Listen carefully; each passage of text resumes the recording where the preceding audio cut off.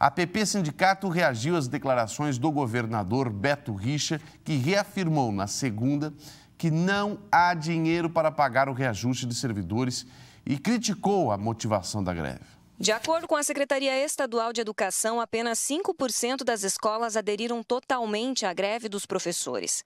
18% funcionam parcialmente e 25% não têm aula por conta da ocupação de estudantes.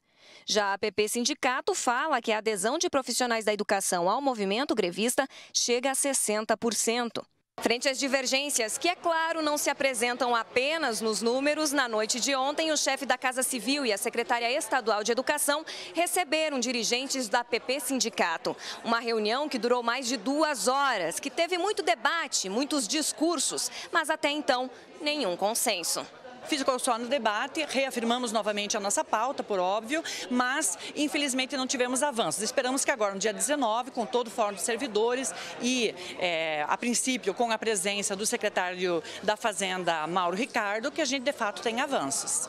A reunião desta quarta foi marcada pelo governo que quer abrir o orçamento do Estado para provar aos servidores que não há recursos para o reajuste. Posição que, em recente solenidade no Palácio Iguaçu, foi reafirmada pelo próprio governador do Estado. E mais, Beto Richa também disse que não se intimida frente à greve dos professores. É um absurdo o que acontece hoje. E eu não vou me intimidar com hostilidades de sindicatos ligados ao PT. E não há mesmo que eu queira, não há dinheiro para pagar em janeiro 3 bilhões e meio de reais para reajuste, promoção e progressão de servidores públicos.